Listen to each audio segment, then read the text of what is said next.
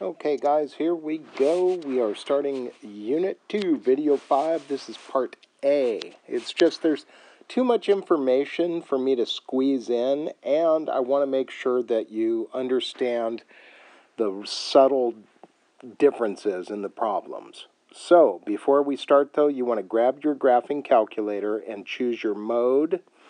Um, and it's all because you are going to experience fraction exponents. And the way MathPrint handles them is slightly different than classic mode. They will both get the job done, but you kind of have to make a choice what what you prefer, and it doesn't matter to me.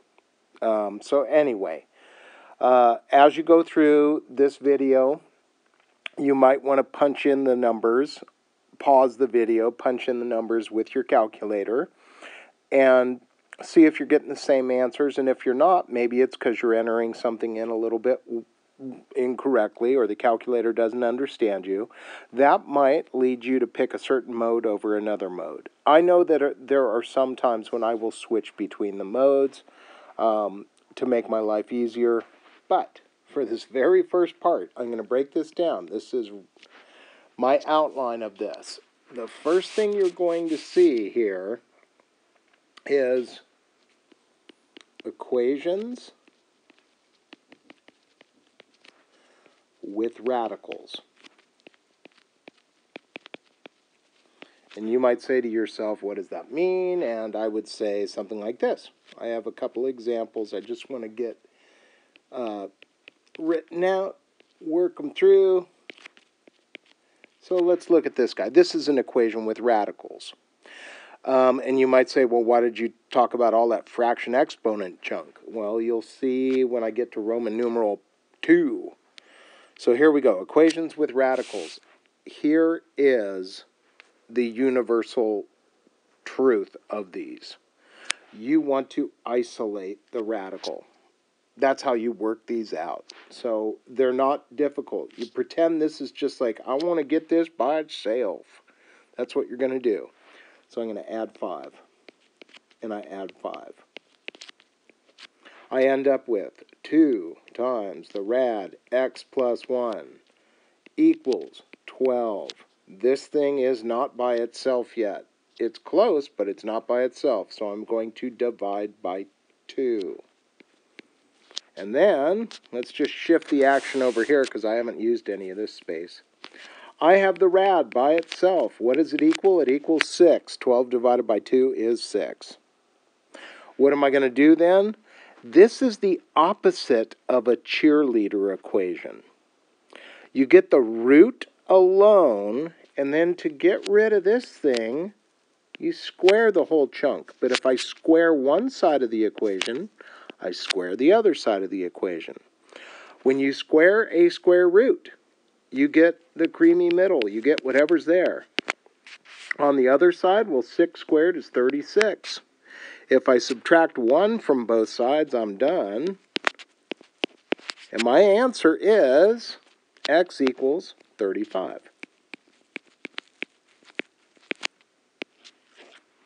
That is my answer. Now, um, the beauty of this is it's really not that difficult. Of course, everything in math, there are certain things where that can make it more difficult, but the basics in the whole concept here, it's not difficult stuff. So, you know what? Equations with radicals. I want to kind of go off of our last lesson, which was uh, doing inverses with things that have square roots. And I also did things that have cube roots. So for our class, we are going to, here's my second example. Let's look at this one. This guy's a cube root of x minus 1 plus 6 equals 10. So for, for our stuff, if I give you an equation with a radical in it, it'll either be a square root or a cube root. That's how I'm going to do it. Um, if you know how to do a square root, you could do a fourth root, a fifth root, whatever, you know, so um, it's either a 2 or a 3 we're going to use here. Guess what? I want to get the root alone. I'm going to take it away. Then I will have the root by itself, what's it going to equal? 4. 10 minus 6 is 4. Did I get this root alone? You better believe I did. So guess what I'm going to do? I'm going to cube this. Just like I did with a square root, I want to get rid of whatever's there. And how do you get rid of a cube root? You cube it. So I get the creamy middle, yum, there it is. And then 4 to the third power is 64. It's just 4 times 4 times 4. You can use a calculator if you want, but that's what it is. I'm going to add 1, and I am going to call it a day. I'm going to say x equals 65. Isolate the root. That's all we're doing. That's it. Don't make it harder than it is. It's not difficult. Let's do this one. It's 5 cube roots of x plus 2 equals 3. All right. Now, here's the thing with this. Um, this is still the guy I want to isolate. Whatever has the root, that's the dude I get alone. Now, um, I call this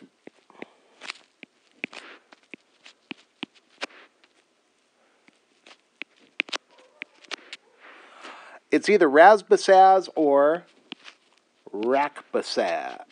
Uh, wait a minute. Yeah. Whoops. that should go here. I blew it. Hang on.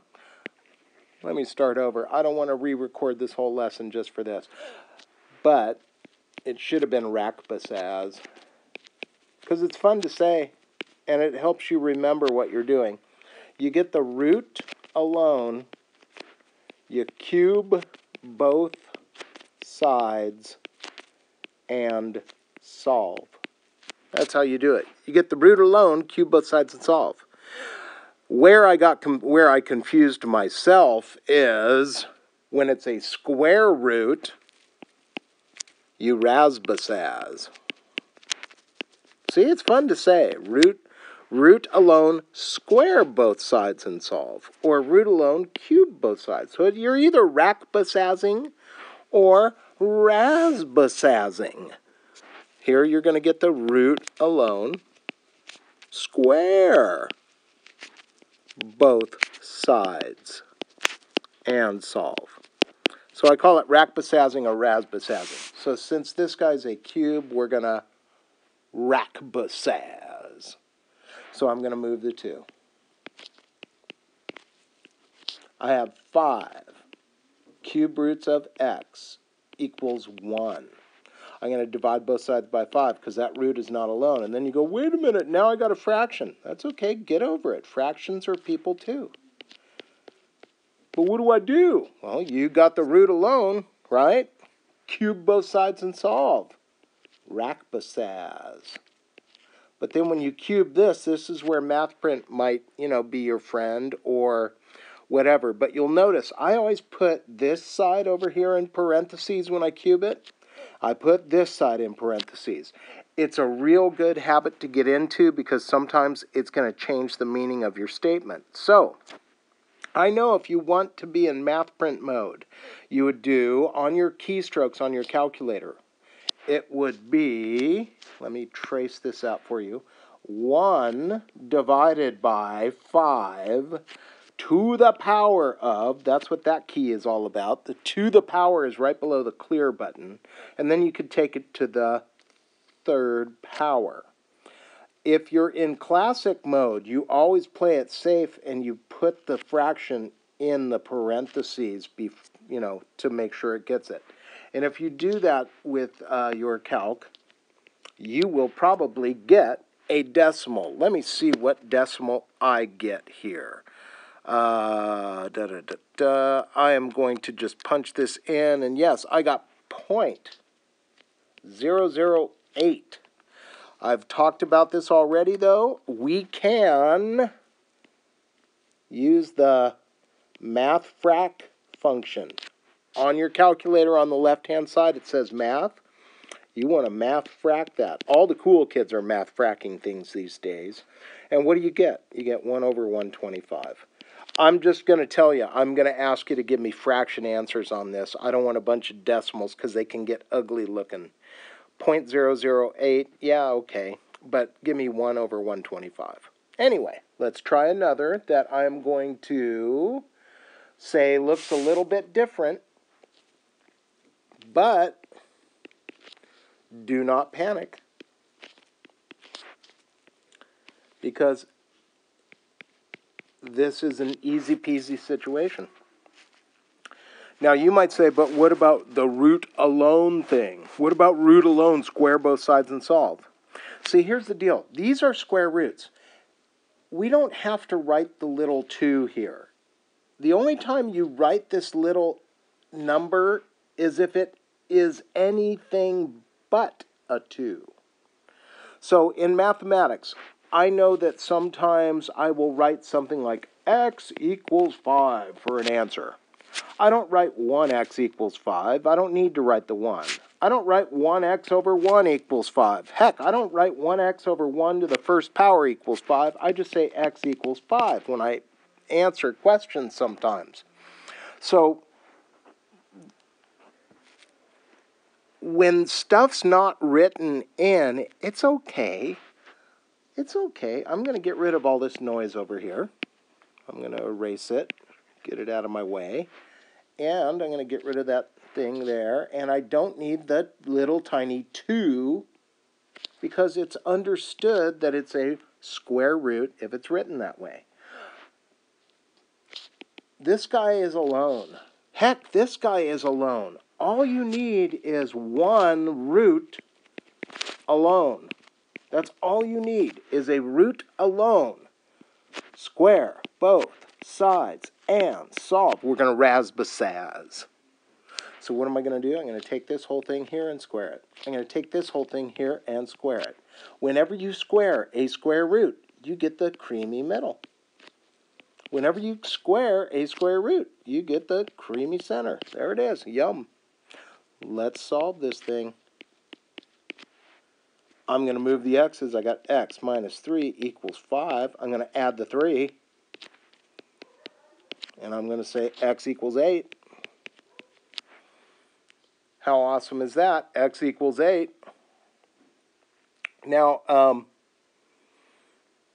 that is topic one. And it lays out my strategy. When I see roots, I'm either going to rasbasaz or rakbasaz. That's what I'm going to do. The only type of equations I will give you will either contain square roots or cube roots at this point. Okay? But wait, there's more. What I need you to try for me on your calculator, and this is why I said make sure you have your calculator. I want you to try this. I know you know that if you punched in the square root of 4 on your calculator, it will say the answer is 2. It will. But what I want you to do now is I want you to punch in on your calculator 4 to the 1 half power.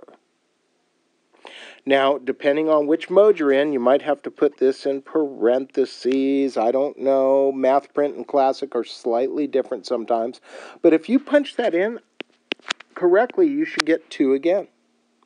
Because here's the deal with this. Every number, you can write a 1 in on it if you want. I could write a 1 in right here. Any number, you can write a 1 in.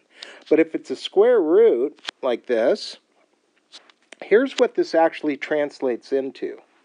The square root of 4 is the same as 4 to the first power second root. This right here is called fraction exponent form.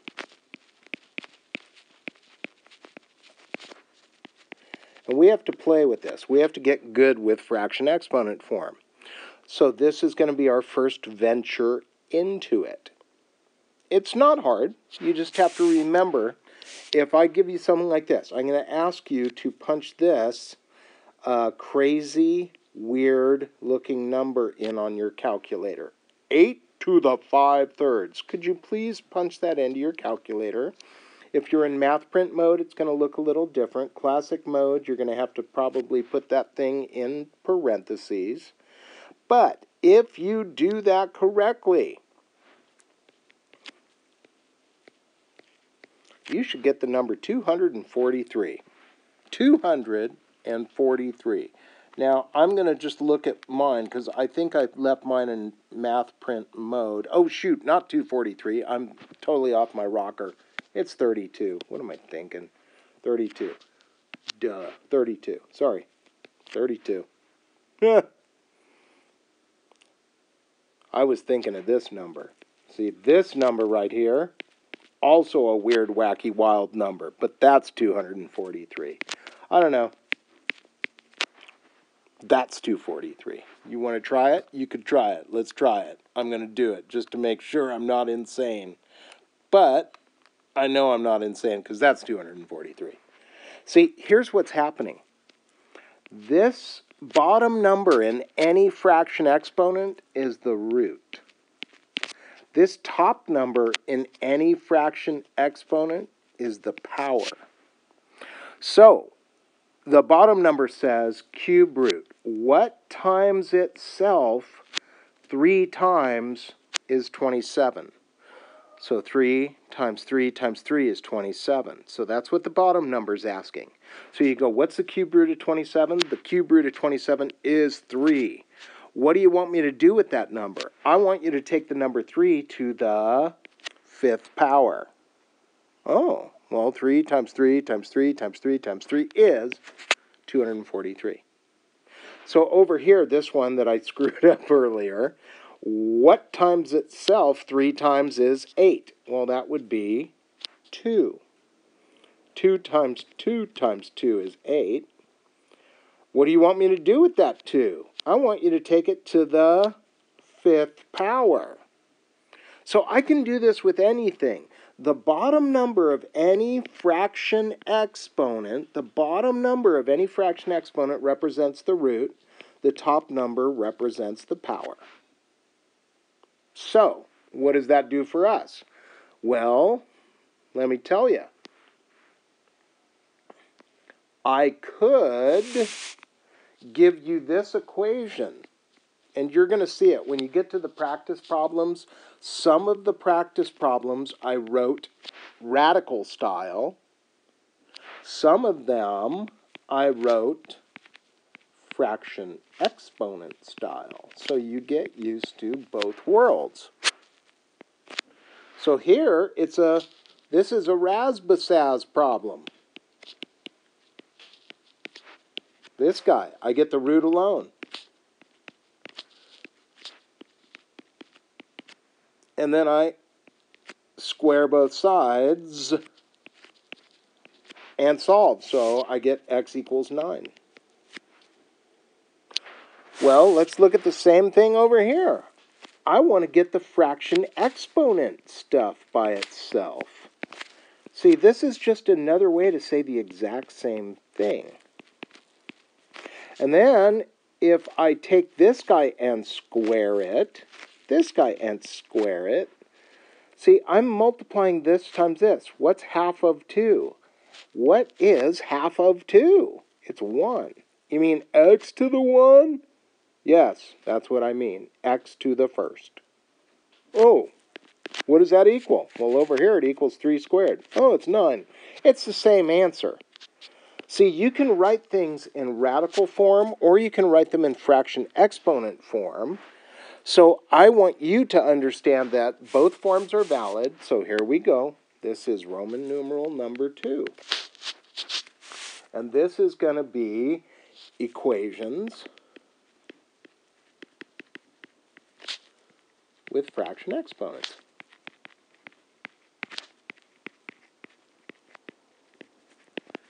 And let's play with a couple more examples that looks, you know, a little bit different here. I'm going to do this one. But wait, there's more. Let me write it down.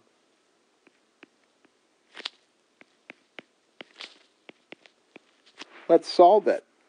What is my job?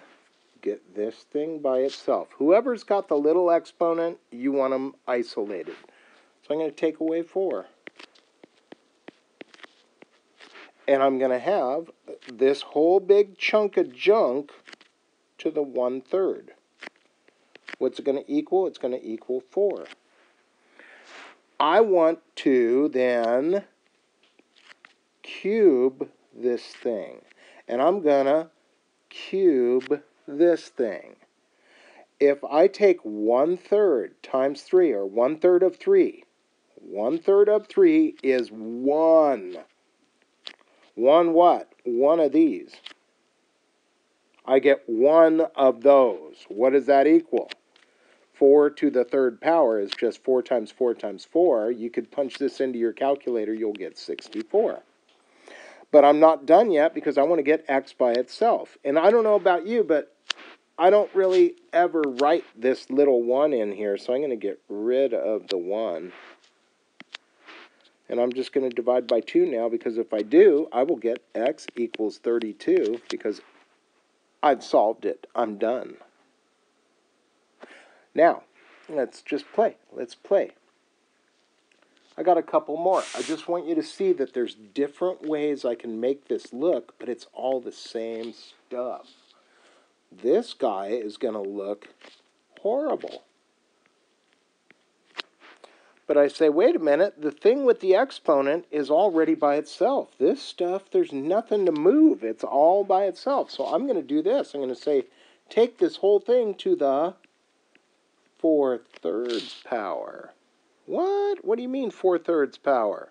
Okay, this is the technique I'm actually using to solve every single one of these problems. It's called reciprocal power technique. Let me scroll back up for a little bit here, just a second.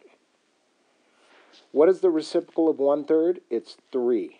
I used a three. That was a reciprocal of power. Up here, what is the reciprocal of one half? It's two. I used a reciprocal power. So take a look here. What's the reciprocal of three fourths? It's four thirds. So if I do it to that side, I do it to this side. That's how it rolls. Because if you do three fourths of four thirds. Whenever you say the word of in math, it means multiplied. Three, whoops, I don't know where that mark came from. Three fourths of four thirds. What happens? Everything's going to cross cancel here. This becomes 1. x plus 5 to the 1.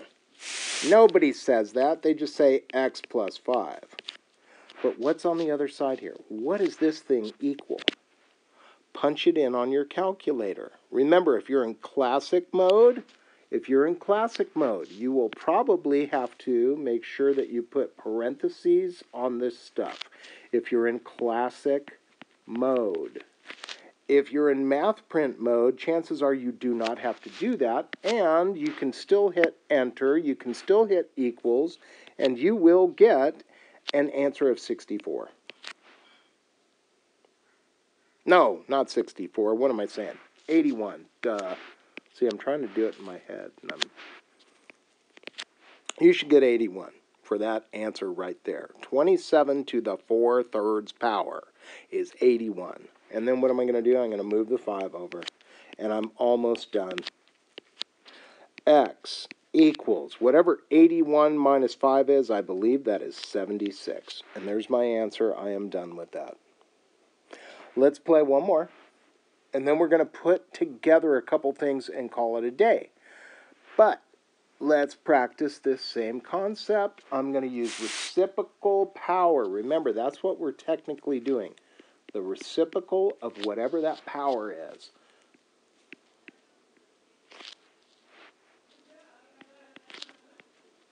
Okay, so here we go. I have to get the thing with the power by itself. So I'm going to start this problem off by dividing by 2. And if I divide that by 2, I will get this thing with this power by itself. On the other side, I will get 32. 64 divided by 2 is 32. I'm going to take the reciprocal power of both sides. So I'm going to take this side right here and take it to the 2 fifths power. I'm going to take this side right here, take it to the 2 fifths power. What does that do on the left side? All this junk cross cancels. That's why I'm doing it. I get x minus 1 to the first. Whoops, to the first. But nobody writes that 1 in, so I'm going to get rid of it. It's x minus 1. That's all I have left. I don't need to write in this little 1. But what does that do on the other side? Well, on the other side, I got to punch this into my calculator. 32 to the power of 2 fifths. And if I do that, I will get 4. Then I'm going to add 1, right? Because x minus 1 equals 4. Let's get the 1 over there. And I'm going to get x equals 5. Now, I'm going to say this. This is not horrible stuff. But how do you know if you're doing it right? Check your answers. Please check your answers. There is an answer key that you will see for this assignment. Don't keep moving forward if you're not getting things right. Okay, because I did not break this whole lesson up into separate videos uh, without some kind of reason. I still have to show you guys a couple things I haven't shown you, but they're based on stuff you just did. So, since we're in fraction exponent town, let me keep this train rolling. I'm going to say what up? Really? What about even powers? Okay, even powers.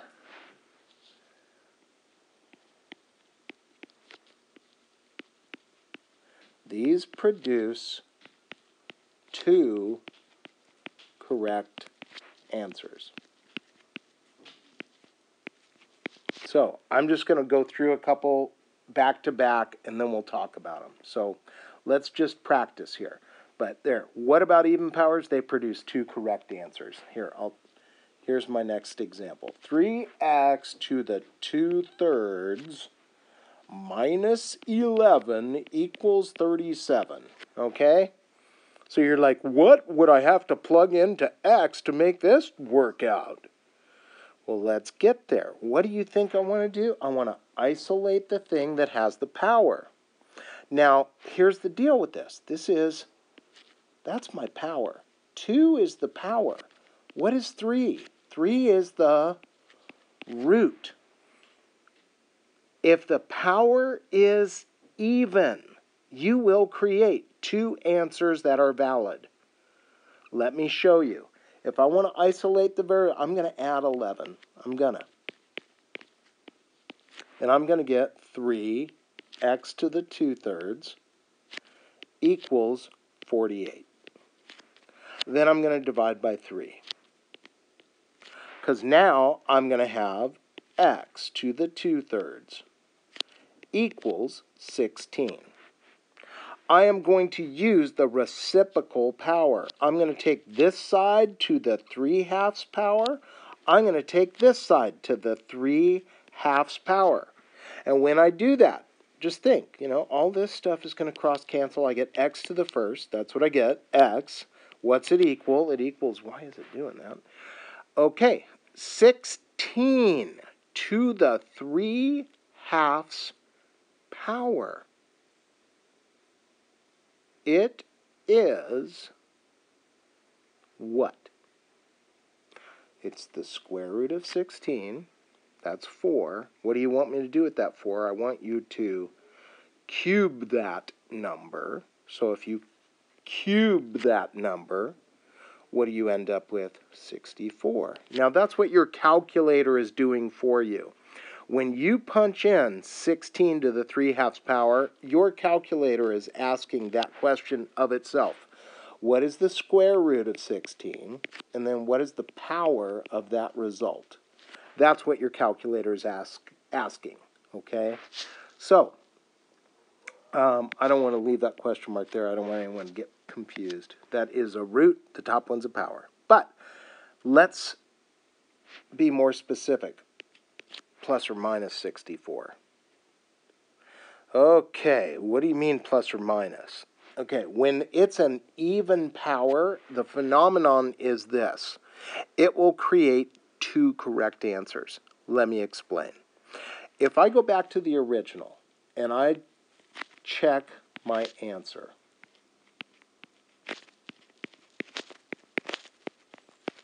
if I put regular 64 here, I would say order of operations. What is the cube root of 64? What times itself? 3 times 64, that would be 4. What do you want me to do with that 4? I want you to square it. That would be 16. So 64 to the 2 thirds. If I punch this in to my calculator, I'm going to get 16. 3 times 16 is 48. 48 take away 11 is 37. It's a valid answer. So I checked it. 64 is valid. Now, what if this was a negative 64? You got to be careful with your calculator. You will probably have to put this in parentheses if you want to, because your calculator is notoriously bad with negatives. So I would say, what number times itself three times is negative 64? And the answer would be negative 4. Negative 4 times negative 4 times negative 4 is negative 64. It's true. What do you want me to do with that negative 4? I want you to square it. Well, you guys know if you square a negative, you get a positive. So I'd get 16 again. 3 times 16 is 48. 48 minus 11, I'm back to 37. So this phenomenon happens when the power is even. What about even powers? They produce two correct answers. Now, I you can scroll back up or sorry, rewind the video whatever and you can take a look. Every problem that I have created up to this point, none of them had an even power. I didn't want to do those mixed in with the other ones cuz I want to make sure you get this. People forget this a lot. So, let's look at another one. Even powered problem.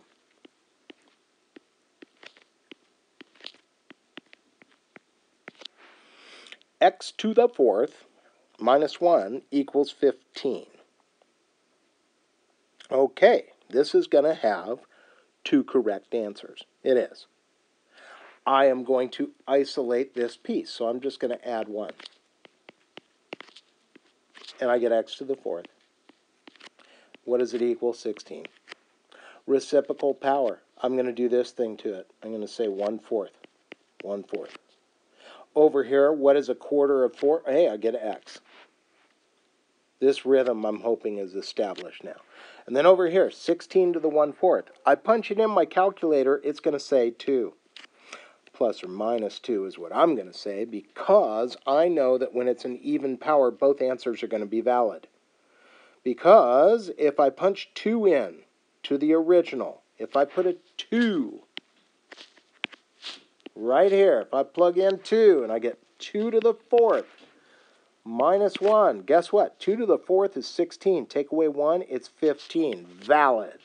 But if I punch in negative 2, negative 2 to the fourth, now be careful, negative 2 to the fourth means negative 2 times negative 2 times negative 2 times negative 2. That is 16. But if you forget to put this in parentheses on your calculator, it will lie to you. Calculators are notorious for lying with negatives. Be careful of that. But guess what? Negative 2 times itself 4 times would also give me 16. 16 minus 1 is still 15 all day long. If it's an even power, you're going to get two answers. Now, does it always look like plus or minus this, plus or minus that? No. Sometimes it looks slightly different, but you're going to have time in the next video to practice too. And of course, if you ever get stuck on anything, remember, they pay me to answer questions for you so you can ask them in class. So here we go. Let's look at this one. I wanted to make one that looks kind of spooky. But you know what? I don't get scared easily because I know This is an even power. So I'm supposed to have a plus minus when I get to the end. I will. I'm also knowing that this is the thing I'm trying to get alone. So I'm going to move that 7 first. I'm going to get that thing. I'm going to start chipping away at all this stuff to get rid of it. Uh, what is that? Negative 32, I think. I'm going to divide by negative 2. And I'm going to get 3x quantity to the 4 thirds power equals 16.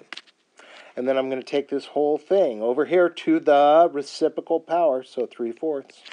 I'm going to take this whole thing, 3 fourths. And then this is going to cancel city, and I get 3x. What's it equal? It equals, well, 16 to the 3 fourths. You can punch it in on your calculator. The answer is 8. But it's plus or minus 8. But I'm not done yet because x is still not alone, so I'm going to divide by 3. So my answer is x equals plus or minus 8 thirds. That's what I get. I get my answers because I had an even power.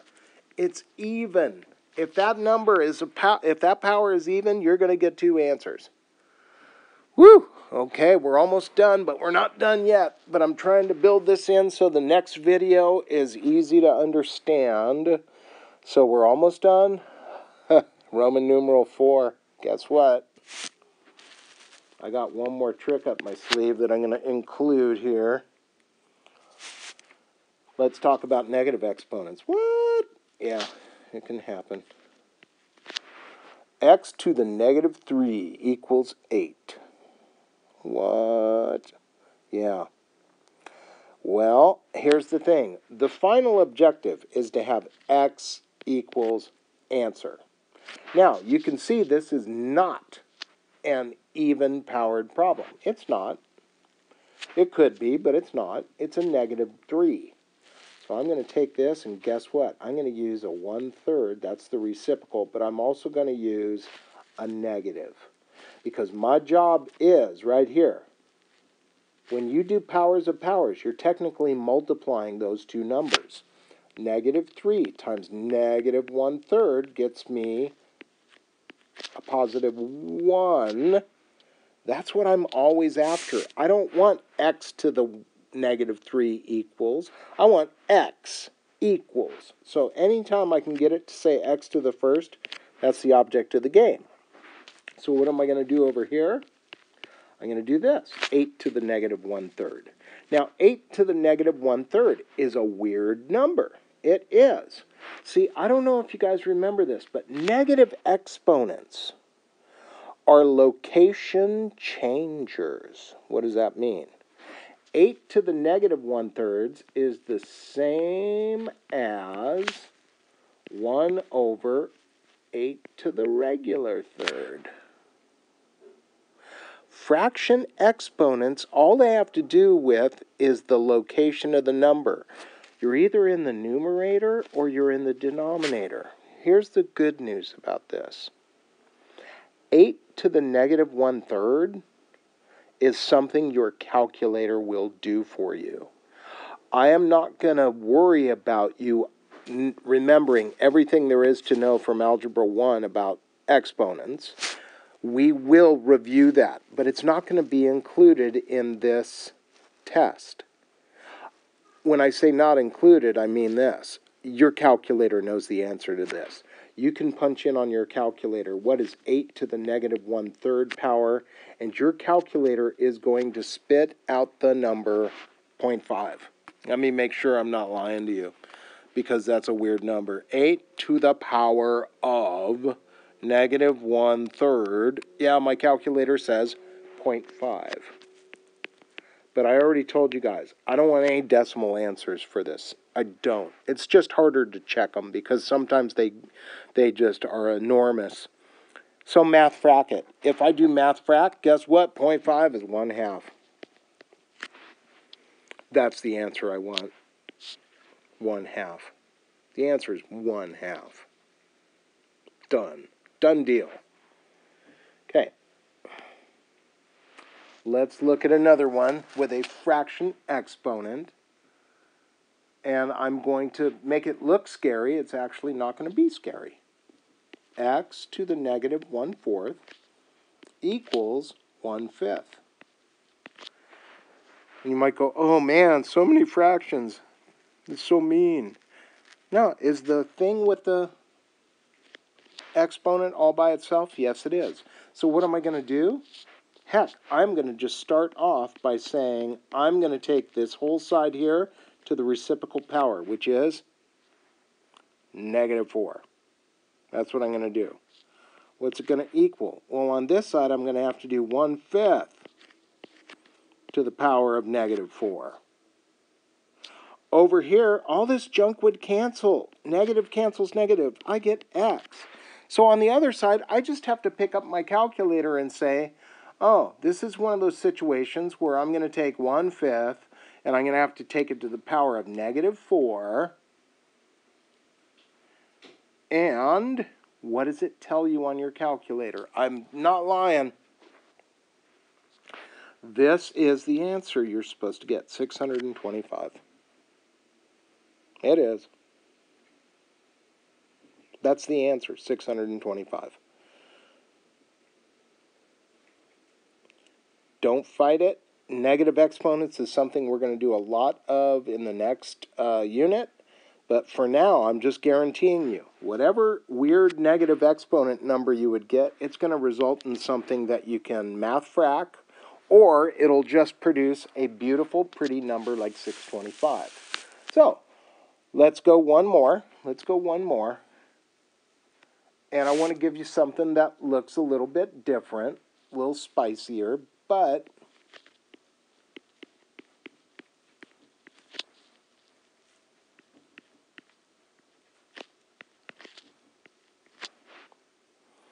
Here we go. What am I going to do? Well, the thing with the power is already isolated. The thing with the power is already isolated. So I'm going to take this side of the problem and I am going to take it to the negative third power. That means over here I'm going to take this to the negative third power. That is what I am going to do. This guy over here gets negative 3 over here, and what does that do for me? Negative cancels negative. 3, 3, there it is. Bam. Fantastic. But what about this? When I punched it into my calculator, it said 0.125. And then I'm going to tell you, math frac that thing. Oh, math frac it. Well, it says it's 1 eighth. Okay, so it's 1 eighth. That's what it is. I don't like fractions. Well, let's bust it. I'm going to take this entire problem here and multiply everything by 8 because I don't like fractions either. I can work with them, but I don't like them. So I go 8 times 2x, that's 16x.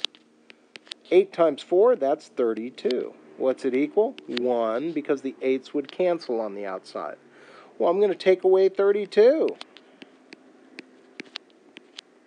And I'm going to get no more room. So I'm going to scroll down. So I get 16x equals negative 31. I divide it out.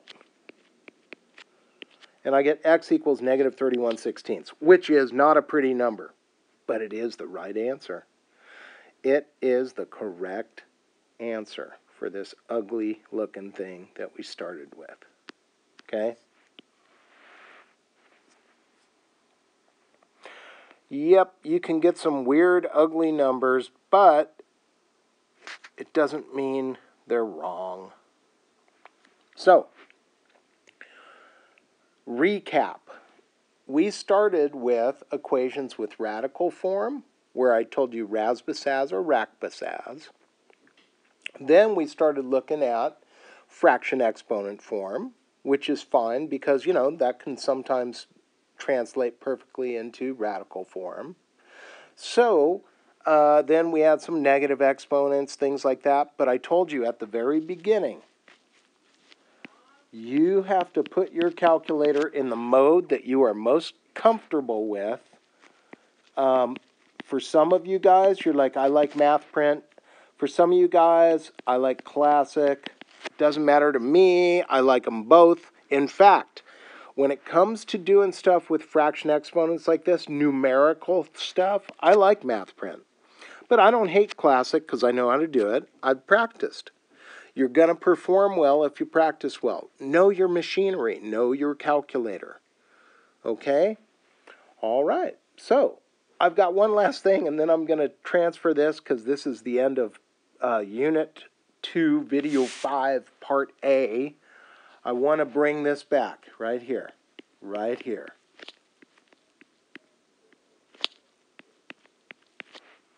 This is a fraction exponent equation. It is, totally is. What do you think I could do to solve it? I could take this whole side here to the second power. Then I'd have to take this to the second power. I just want you to know that this could have been written like this on your practice sheet. You're not going to see the practice problems until the next video, but I could present this problem to you with fraction exponent form, or I could have put this in root alone, square both sides and solve form. Either way, what would happen here? I'd get x plus 6 on the one side. I definitely would. Hang on. Ah, there was a bug on my screen. I was trying to move it. Uh, um, that's what you would get. That is what you would get. Okay? Why is this important? This is the very last thing I'm going to tell you on this video. It's important because now you have a second power, which means you have a quadratic. So I'm going to move this over there. I'm going to move this over there. I'm going to get x squared minus x minus 6. I'm going to get everything on one side equals 0. And then I'm going to say, dang, that looks factorable. It does. And I'm going to factor it because it's really not that hard to factor. It ends in a minus 6, so it means I need a positive and a negative. I got to get a minus 1x in the middle, so it looks like this is a 2 and that's a 3. And that's how it factors. No fooling. So here's my answer, negative 2. Here's my other answer, 3. I have two answers. Those are my two answers.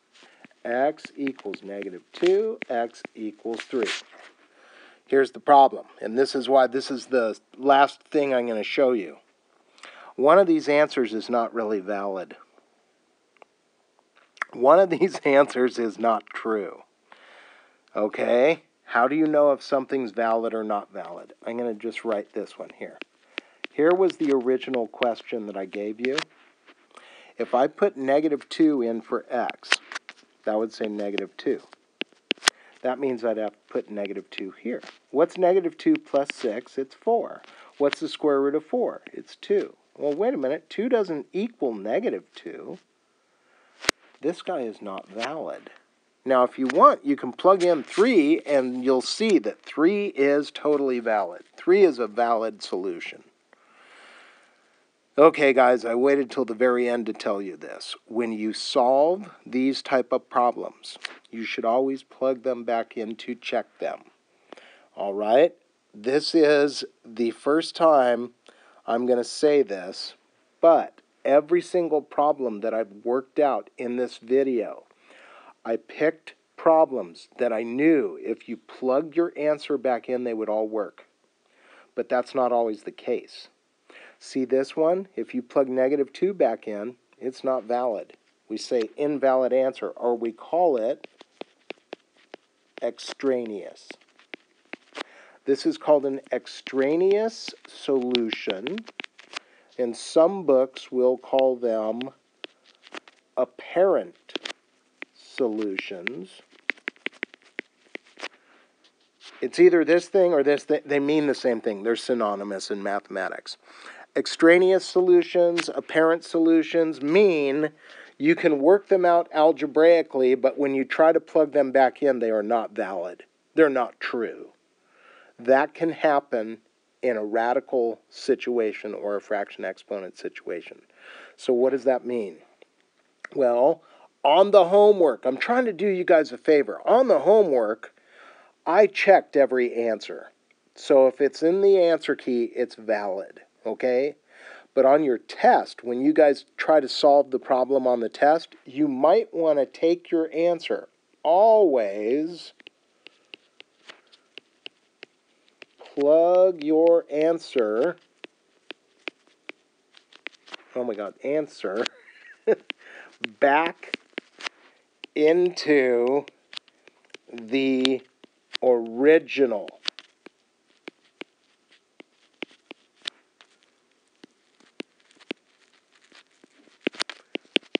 Plug it back into the original equation, check for validity. If you don't, you might end up with an answer that's not a real answer. It faked you out.